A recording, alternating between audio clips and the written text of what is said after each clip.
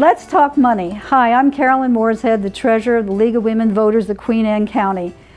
Like any organization, we do require money to help us meet our goals of educating voters. You can check our dues levels, which we try to keep very low because we want anybody who wants to join to be able to.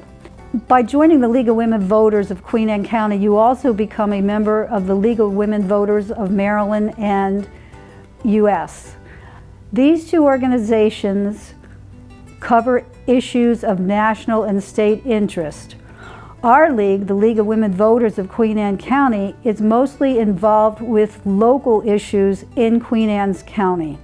If you don't want to become a member but would like to help us, we also accept donations.